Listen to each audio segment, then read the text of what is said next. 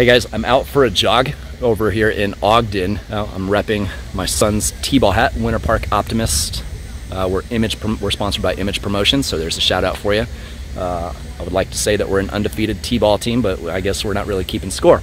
But anyway, proudly representing the team that I help coach. Uh, so back to the story.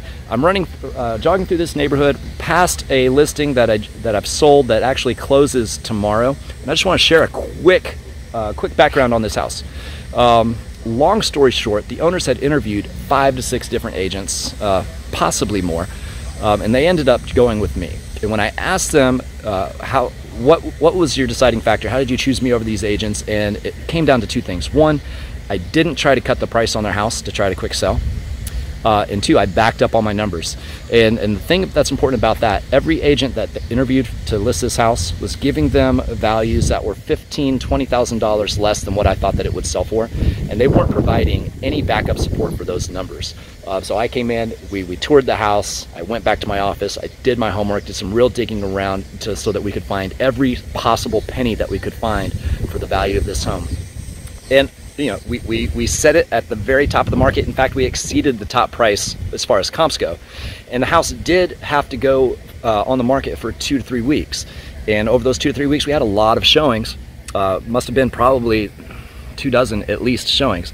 And uh, the feedback that came in was pretty consistent. The agents thought that the house was priced too high.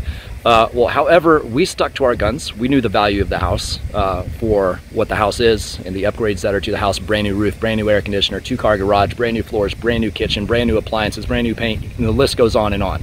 Uh, so we were justified in setting the highest price for the neighborhood and we ended up getting that price. We didn't give one inch on the price of this home.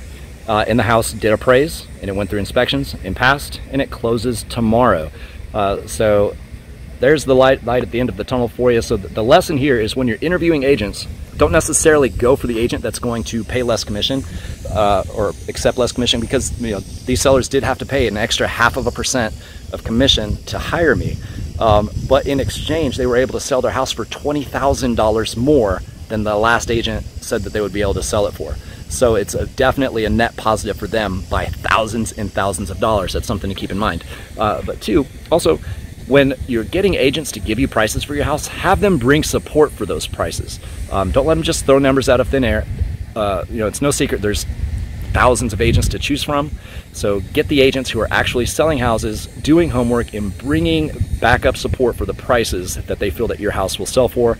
And do they have experience negotiating and sticking to their guns versus the agents that will cut the price or talk you into accepting a lower price in hopes of a faster sale that's all I got for you.